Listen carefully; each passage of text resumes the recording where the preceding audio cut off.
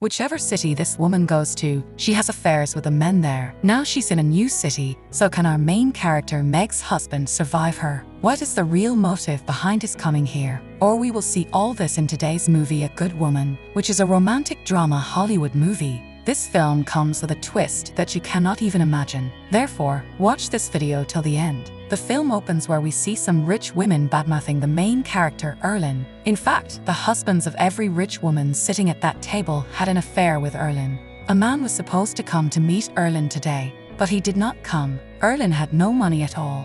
As she was leaving, another waiter brought her the bill. Now he was feeling very short of money. She sold all her property and was forced to leave the city. She reached Italy by ship. In the newspaper there he read about a rich man, but that man was married. However, this made no difference to Erlynne. In the next scene, we see the rich man, Robert, and his wife, Meg, who have come shopping. Robert gets a little busy, and meanwhile, a woman recognizes Meg and takes him to a shop. Here, a man named Darlington sees Meg for the first time. He likes Meg very much and immediately approaches her and starts flirting. He says, I want to get gloves for my sister, and you have hands like hers. Can I put the gloves on for you? Meg also agrees with Darlington. After some time, Meg's husband returns, and the woman warns Darlington not to flirt with Meg. In fact, Darlington flirted with every woman. He was middle aged, but was not married yet. Darlington believed that he was still looking for true love. Robert and Meg had recently moved into town and were looking at different places. They liked a castle, and Robert bought it for Meg. She was very happy seeing all this. Darlington and Robert began working together in their business, becoming good friends. It was a city where everything was discussed and all the rich people knew each other. One night, at a party, Darlington sees Meg alone and approaches her and asks her for a drink, but Meg refuses. Nobody in my family drinks, she said. Meg then begins to describe her childhood. Her mother died when she was very young, and later her father. After that, his aunt took care of him. Meg had an old photograph of her mother, but nothing was clearly visible in it. Darlington said after seeing her mother's picture, you are so beautiful, so I thought your mother must have been very beautiful too. Meg did not like Darlington flirting like this. Darlington said, I just want to be your friend. I don't mean any harm by any of this. Meg's birthday was approaching, so Robert went to a jewelry shop to get a gift for her. Erlynne was there too. Erlynne told Robert, Never buy jewelry for your wife. She will think you are having an affair with someone else, and if you're gifting jewelry to another woman, you should give something special. Erlynne suggested a hand fan, which Robert liked very much. The shopkeeper told Robert, I don't want to sell it, but Robert bought it by paying a lot of money. On the way home, Robert gave Erlynne a lift in his car. All these things were seen by his friends, and they started thinking that maybe Robert and Erlynne were having an affair. Darlington also started doubting about this. Meg was very excited about her birthday gift. One day, while shopping, she met Erlynne, who was trying on a dress. She asked Meg, how does this dress look? The dress is a little short, Meg said. Erlynne replied, That's what men like. I know my husband doesn't like all this, Meg said. Meanwhile, Robert's friends started keeping an eye on him. They saw that he had now started going to Erlynne's house secretly from everyone. People started saying very bad things about Robert behind his back. One day, Darlington arrives to take Meg and Robert to lunch. Suddenly, Robert gets a call from Erlynne. He said, You shouldn't call home like that.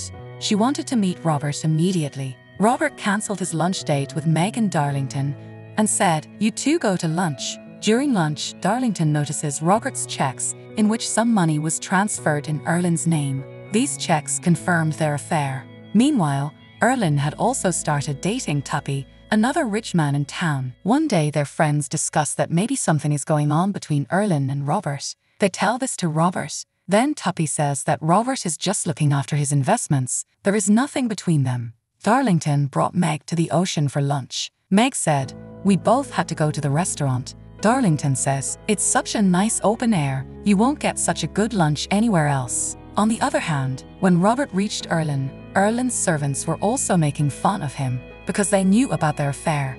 After a while, Robert says, Meg's just gone for lunch. She might get suspicious that I'm late. He gives Erlynne some money. Erlynne asked Robert, How did you two meet? Are you in love with her? Robert said, Yes, I love her very much.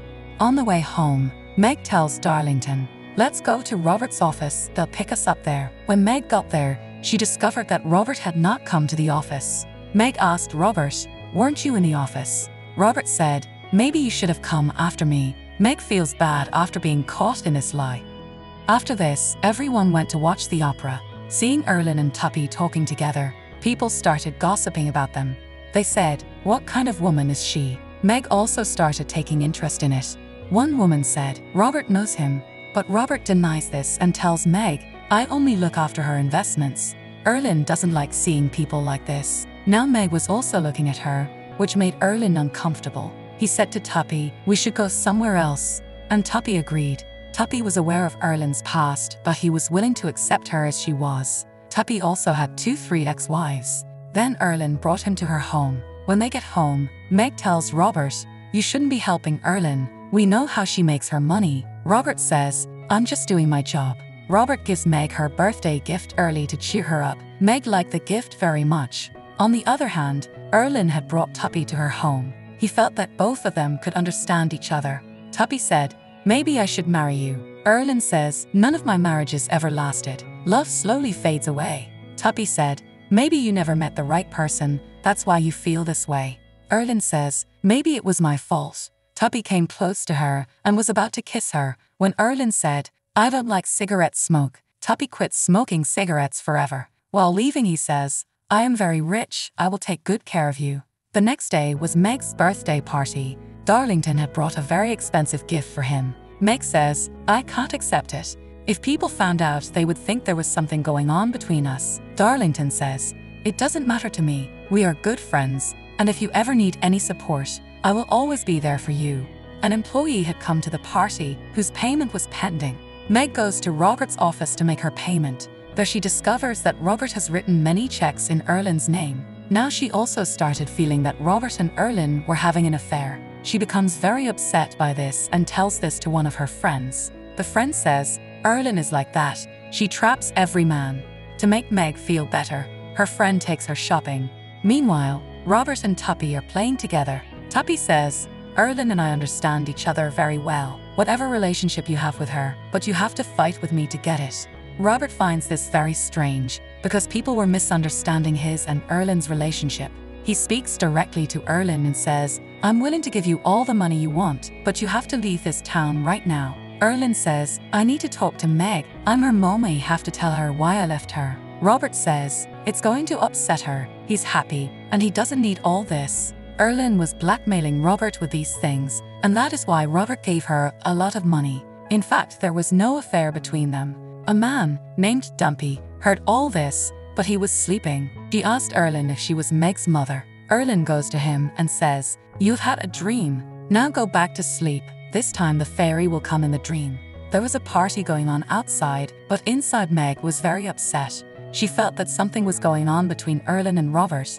She wears the same dress as Erlynne and is exposed. Robert tries to take her away, but Meg says, I know all about you and Erlynne. Don't say anything to me today. Dumby told people at the party, Meg and Erlynne look alike, but no one took him seriously. Meg and Erlynne had the same dress at the party. Darlington mistakes Meg for Erlynne and approaches her, saying, You look very beautiful. Darlington was very surprised to see Erlynne and said, Tuppy doesn't have as much money as Robert. You should continue the affair with him. Meg was afraid to leave Robert. If Robert had married you, everything would have been fine, and then Meg will be mine. Tuppy's friends at the party explained to him that his relationship with Erlynne is not right and that he should end it. But Tuppy says, I'm old now and I'm never going to find anyone else. Erlynne is very beautiful. Friends said, She's only with you for your money. Tuppy said, If she wasn't beautiful, I wouldn't pay any attention to her either. Tuppy sees the relationship as a business, but he still loves Erlynne very much. Meg was very upset and drank a lot of alcohol. Robert tries to stop her, but she doesn't agree. Darlington also arrived there and said, Erlynne has grown very old. You are very beautiful. Darlington came over to Meg and kissed her. Upset, Meg went out. Darlington said, Robert cheated on you. Now you must leave him. I love you. We can go to any corner of the world. Robert came out looking for Meg, but Meg hid. Taking advantage of the opportunity, Tuppy approaches Erlynne at the party and proposes to her. Erlynne mocks him and says that she is marrying him just for the money, but then he accepts the proposal. Robert became even more angry after seeing Erlynne at the party.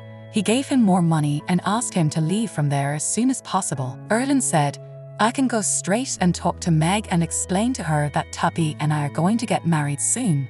Then Meg saw these two together from outside and she became even more angry. As Erlynne leaves, she decides she'll go talk to Meg after all. The door to Meg's room was open. She left a letter for Robert in which it was written that she was leaving him forever. Robert was coming up, looking for Meg.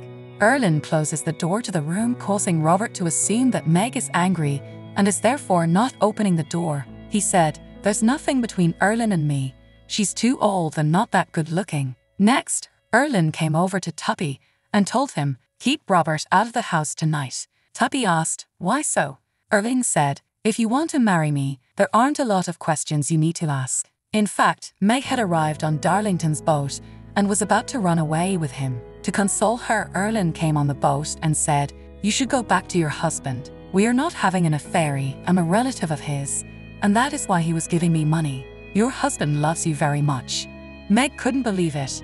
Erlynne said, If you leave like this, your life will become much worse. People will always be talking about you. You may not regret it now, but after 20 30 years, you will feel very bad. You shouldn't go like this. Meg also understood this. Then Tuppy reached there with Robert and Darlington. Everyone started talking about Erlynne. They were again trying to convince Tuppy not to marry this old lady, but Tuppy said, I love her so much and I'm not going to change my mind. At the same time, Robert finds the handheld fan he had given to Meg.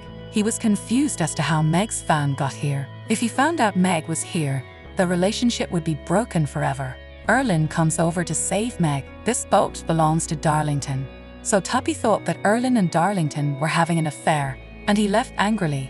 When Robert came home in the morning, Meg was there. Both forgave each other.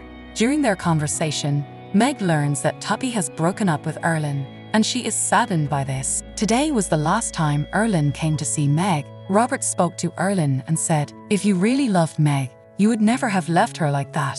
I had no other choice. Erlynne said. Robert asked her to leave, but then Meg arrived. Meg said, Your relationship broke up because of me. I'll tell Robert the truth. Erlynne said, Please don't do this. You two love each other, that's the truth. He asked Meg to get a promise. Meg said, I swear by my mom. My mom is my guardian angel. She always takes care of me. Hearing this, Erlynne left from there. Robert asked, Why didn't you tell him everything? Erlynne said, Meg thinks of her mother like Gaudi don't want to break his trust. On her way out, Erlynne returned all the money she had taken from Robert. Everything went well between Meg and Robert. When Erlynne boards the plane, Tuppy is waiting for her. Tuppy said, Meg has told me everything. Erlynne asked, What did he say? Tuppy said that Meg lied about everything so that he could help her save her marriage. Tuppy was now very happy with Erlynne, and Erlynne was beginning to like him too. They will now go to a different country and start their new life. With this, the film ends. If you liked this explanation, please like and comment. We will keep coming with many more movies, so please subscribe this channel and don't forget to press the bell notification icon.